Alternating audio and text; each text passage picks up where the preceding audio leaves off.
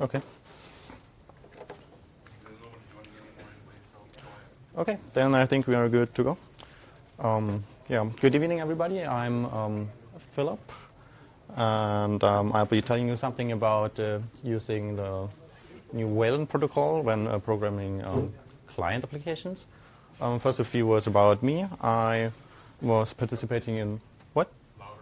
Okay. Uh, I was participating in uh, Google Summer of Code uh, last year as a student for the Kodi project. And I implemented uh, the Wayland backend that will be in Kodi version 18, which is uh, the next version.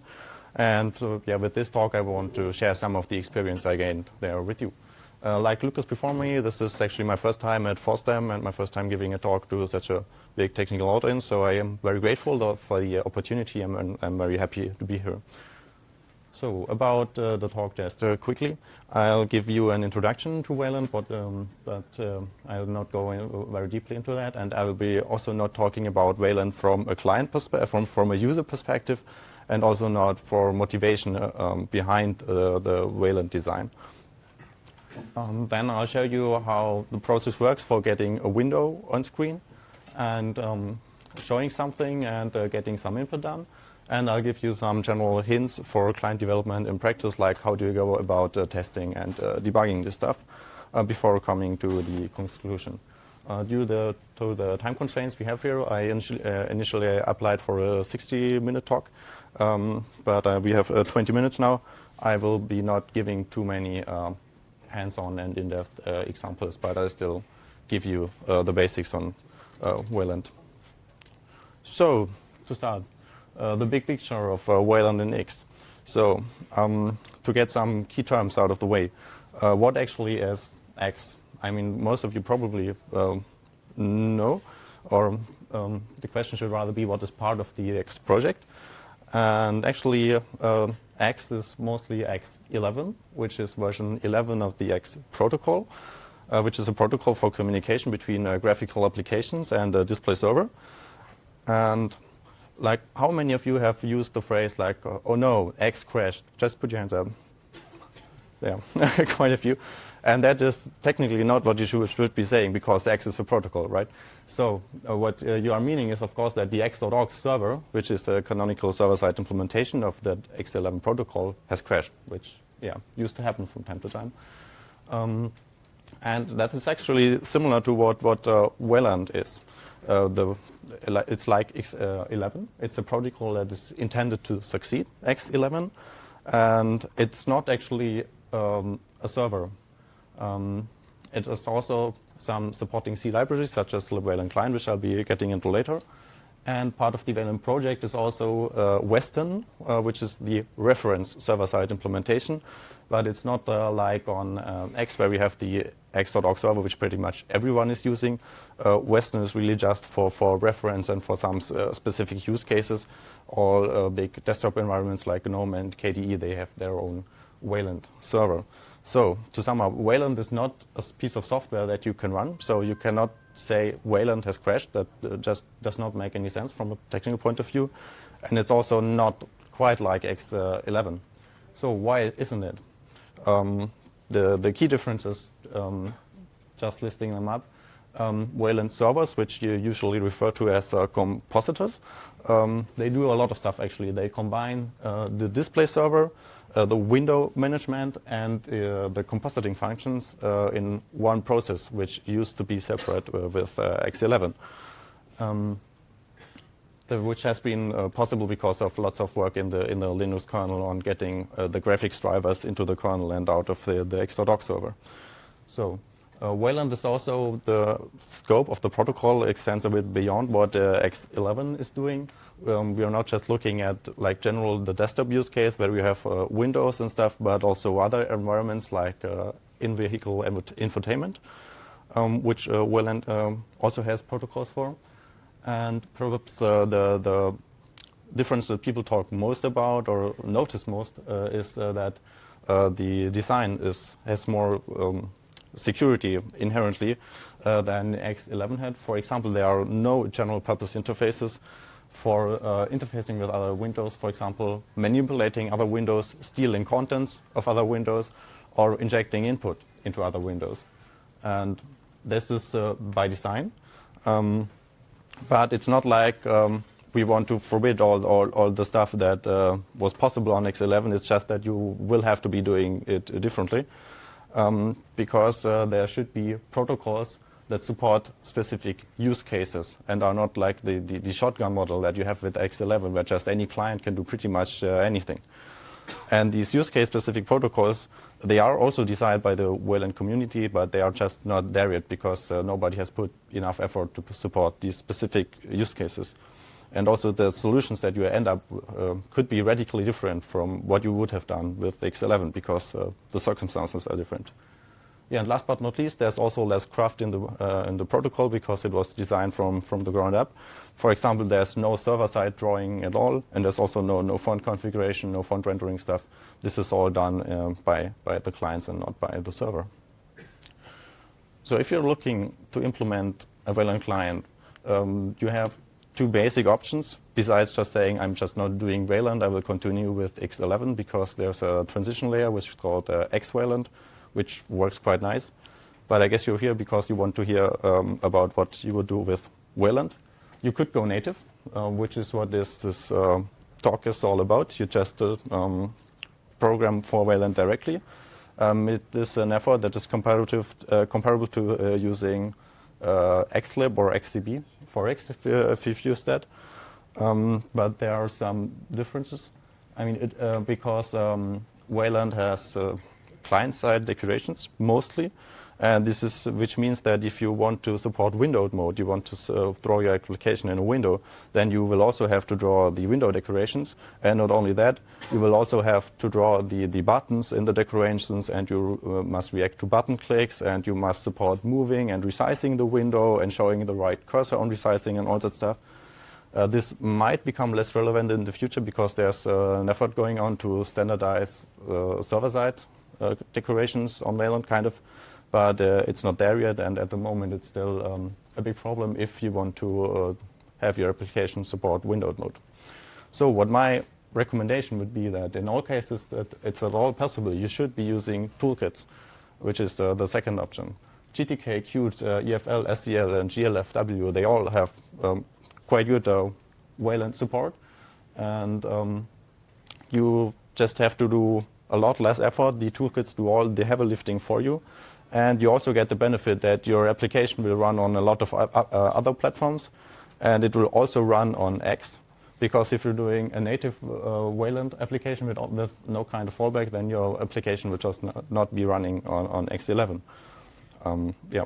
But I do realize that using toolkits might not be an option for, for everyone if you're doing very specialized software or if you just you want to write the toolkit. So this is what this talk is about. Okay, after this uh, introduction, um, a brief introduction of uh, the, the uh, um, more in-depth look at the Wayland protocol, actually, how it works. It's object-oriented, which means that you create new objects via the protocol and then call methods on them, which are called requests, or you get um, events from the server. And every function call is uh, associated with an object. There are no like raw function calls. Um, the protocol is defined in, in, in XML files, which uh, the main one is called uh, Wayland.xml, which is uh, shipped with Wayland.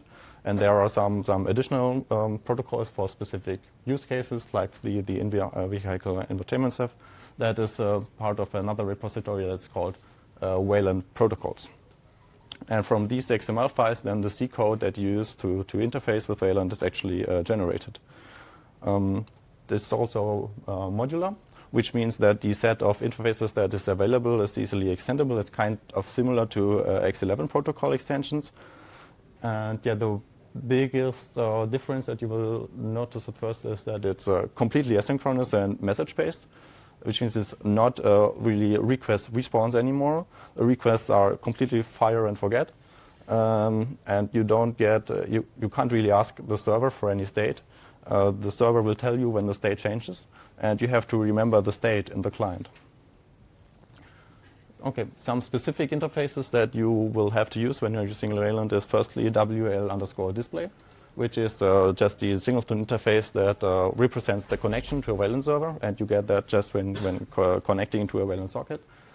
And um, the other one is WL underscore registry, um, which uh, you derive from WL display, and uh, then in, that in turn provides access uh, to all other global objects, uh, objects and global interfaces uh, that you will be using. So it is kind of the, the entry point for everything.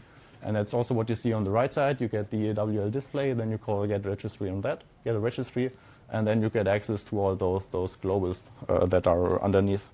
And what uh, those globals are will actually vary depending on what compositor you're using and what environment you are using it in.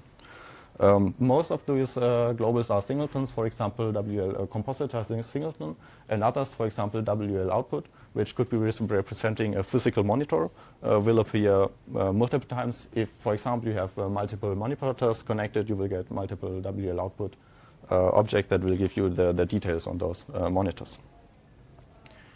So how, do you, how do we use the sum of those globals to actually get a window on screen? It's uh, yeah not that easy of a process, so I'll just give you the, the high-level overview and not go too much into into the, the, the details. Um, first, you use the compositor global that I've been briefly speaking about and use it to create, create a surface. And the surface is just yeah, a typical rectangular area of pixels that you can put some content in. Uh, but you can't. Uh, but if you just create a surface, then it won't uh, be displayed because uh, all surfaces need one uh, need a role, and um, exactly one role uh, that tells the compositor what it should do with the surface, in what kind of way it should use it and display it. And uh, what you will use for that is if you just want a regular window on a desktop, then there's an uh, extension protocol for that that you, that you, should be using, and it's called uh, uh, XDG, XDG underscore shell. Um, it's uh, still unstable at the moment and is part of the Wayland protocol repository that I mentioned before uh, but it's, it's the de facto standard that you should be using. Um, and uh, the one that is in Wayland, which is called uh, WL underscore shell, it's effectively deprecated and you shouldn't be really using it anymore. Uh, there's a stable version of XDG shell that's uh, already there, but not many servers are supporting it yet. So for the moment, uh, this is still your, your best bet. You should be using uh, XDG shell version 6. And if it's uh, ever replaced by the stable version, it's just a, a, um, a copy and paste job, and you just uh, remove the set prefix, which means unstable, and remove the version at the end, and then uh, you are good to go with the, the stable version. Yeah. So how do you use that? Uh, you get the global, uh, the XDG shell, shell uh, global. You use that to get an XDG surface um, object for the surface that you have created, and then finally call get top level on the XDG surface. And uh, this uh, top level object is then uh, the role of your surface. And top level in this case means just a top level window that uh, the uh, compositor will then put on screen. Yeah, not quite, because uh, the compositor will not put it on screen unless you put some content into the window. So how do you get the content? There are, um, again, two possibilities. You can render on, on the GPU or you can render on the CPU, roughly speaking. Um, if you render on the GPU and use uh, Vulkan or EGL, then you are pretty much covered because that is quite easy to do. The interoperability is, is great. And um, yeah, you don't have to really set up much. If you use uh, the CPU for rendering, then it's a bit more complicated because you have to figure out uh, how to, to get a, a, shared memory buffer and how to share that with the um, compositor, which is what I just uh, I'm, I'm indicating here. You create a buffer and attach that to the surface. Um, yeah, and it's a bit more uh, involved than, than the rendering on, on the GPU. And for rendering, you could use either you already have your own renderer. For example, when you are developing an, an OpenGL-based uh, game, then you will just uh, use that to, to render the game. Or for 2D drawing, um, you could use uh, uh Cairo or uh, the, the, the, Skia project, which uh, the, the Chromium guys have developed. Okay. Uh, that's it for, for the window. If you do all that, then you will actually have a, a window and screen. And um, you want some interactivity probably. Um, so it means how do you get input? Um, there's a concept called uh, a seat, which is a group of um, input devices, a pointer, a keyboard, and, and, a touch device. And each seat can uh, have at most one of those devices and you register for the global, uh, then you take the seat, and these seats can actually be hot plugged at runtime, so you should always be prepared that, that the seat appears or disappears. and you uh, your your application should handle that and not just crash then, which would be very bad. And then via, via the seat, you can get access to the pointer, the keyboard, and, and the touch. And for the pointer, there's uh, the yeah, special thing that you have to take care of setting the cursor. Uh, of when as soon as the pointer enters your window, you have to give the Wayland compositor a cursor that is uh, an image that it has to use. But there is the libwayland client library which handles most of it and loads uh, just the regular old Xcursor things. For the keyboard, then the, the server um, sends you just simple key events when something is pressed, uh, but you have to decode them with a lab uh, XKB common because the server will also send you the key map that the user is uh, using. Um, so you have to go through that to translate the keys to what uh, actually was pressed. Um, how do you use that stuff actually in C? Because I've, I've not shown you any code, I guess. Uh, there's uh, the C library, which is called libwayland client, and um, all the other stuff is currently built on top of that. So it's like, like XCB or uh, XLib. And if you're coding in C, then you should be using that. There's not really an alternative. And you have to use uh, the, the, the, executable Wayland scanner for any extra protocols that you uh, might be using from, from XML files uh, to get generate the, the, the C code uh, to interface. Um, if you want to integrate this into your event loop, then you should be take care, taking care to use a proper API. So just see the um, documentation if you want to do that. And for starting out, I recommend uh, downloading the source for Weston, the reference compositor, and look at these files, simple.shm.c and simple.egl.c, uh, which are just uh, demo clients that are very minimal, but do enough that you can just um, show, um, have a window and uh, get some get some input. So it's uh, really the best way to start uh, getting your hands dirty. Um, if you want to use threads in your application, then it is supported by libwayland client, but you have to be careful and take some precautions, which are again available in the documentation. Um, there are some bindings to other languages if uh, C is not your thing. Um, I've tried to list the ones that are most like stable at the moment, which uh, you can see here. And um, in the slides that you download, these are all links. You can just uh, click on it if you're interested in that. Uh, but the state of maintenance is, uh, varies between the, the bindings and um, libwayland client is actually your, your best bet if you want just something stable. So um, now you have, say, you have written your client, you want to actually test it, and either you are lucky then, and you are already using Wayland on your desktop, then you just, can just run your application. And if not, uh, it's also not a problem because you can uh, run a Wayland compositor uh, on top of X11 or on top of Wayland in nested mode. Uh, which is uh, kind of like a Xephyr if you've used that on X11. And these are just uh, this is just a list of um, um, compositors I would recommend you to test on with uh, the recommended uh, versions that you should be using and how to start them in nested mode. And with the environment variable uh, Wayland underscore display, you can um, instruct your application to start on another Wayland display server. It's like the, the X11 display environment variable so if you want to, so if, if, you run GNOME normally and want to test on another compositor like Weston, then you can just start that in, uh, in nested mode and start your application there. Um, I would always uh, advise you to test at least on Weston because it is a reference compositor and it's uh, most strict about uh, the protocol. And you might want to skip uh, KDE and Enlightenment for the moment because they don't have uh, a stable released version that supports uh, XDG shell version 6 as far as I know at the moment, but they are uh, working on it. Very useful is uh, setting the environment variable Wayland underscore debug to 1 when starting your application. Then uh, you will just get on standard error or standard output, I think, uh, just a trace of all API calls that you are doing on, on the Wayland socket, which is very useful. You see everything you send to the server, you see everything the server sends you back and can look for, for, for uh, problems and information. And um, if you want to just see what kind of uh, globals what kind of globals and uh, your uh, compositor supports, you can use the Weston Info executable, which is a part of Weston. But even though it's called Weston Info, you can actually use it with, uh, with any compositor to just gather information on what kind of interfaces are available.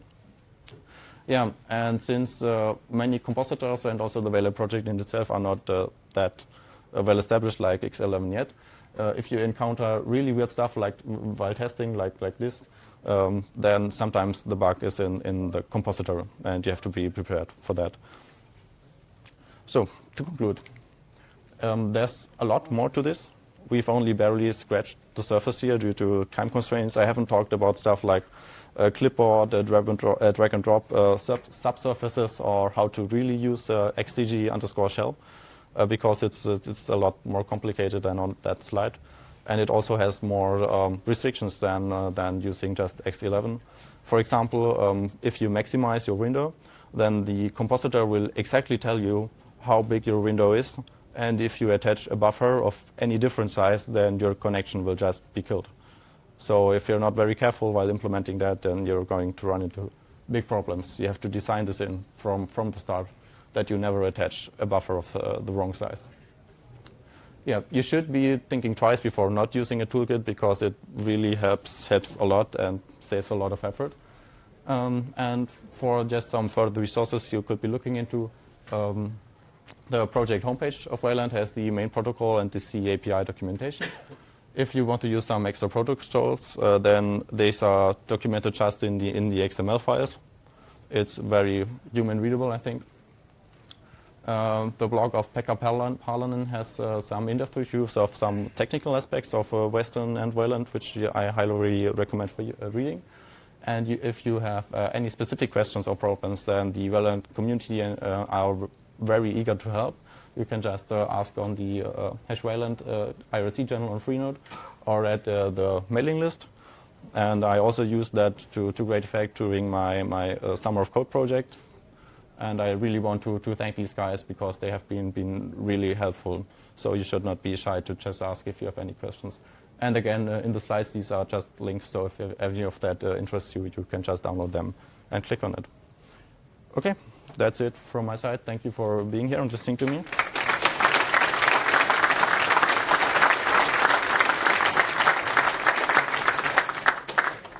Do you have any questions? Yeah. What is the actual protocol between uh, libwayland client and, uh, and the compositor? Oh, yeah. Okay, the question was what is the actual protocol between the, the Wayland client and server? It is a custom protocol and the wire format is documented on, on uh, the web page and it basically just encodes uh, the, the request that you send in, into numbers it, uh, that are um, calculated from the XML descri description and it serializes that and deserializes on, on the other side. But the documentation is, on that is uh, very good if you want to look at the details. It's on the homepage. And it's like X11 that Um, okay, the question was whether it's like X11 uh, due to socket support. Um, yeah, kind of. You usually use a Unix domain socket on, on uh, Linux. Uh, but the difference to X is mostly that it's not as network transparent. Okay. So you usually can't just use that over a TCP socket because uh, you are sharing uh, file descriptors via the socket. So you need to use a Unix socket. Okay. Tokyo project, we just got some patches to uh, add Wayland support. And one of the things that literally today I was looking at the patch and uh, what confused me is a piece of code, like the protocol file uh, generated from the XML 4C was uh, submitted as part of the patch. Yeah. Is this normal, or should we be looking for some other library that integrate that, that provides this? Okay, the question was that uh, in some project, I, I didn't get them name, sorry. What? We, just, we got the patch for GNUstep. Uh, for GNUstep, okay, they got a patch for Wayland support, and uh, in the patch uh, they uh, included the generated C code from Wayland Scanner. And the question was whether that uh, is a good thing, I think, and it's not a good thing. You should always be generating the, the C code directly from, from the XML. Um, the protocols are installed system-wide, or you if you use custom ones, then you can ship them with your project. But you should not check them into source control because they are generated. You should always be using Wayland Scanner to generate them. Okay. Any other questions? Okay, then that's it. Thank you.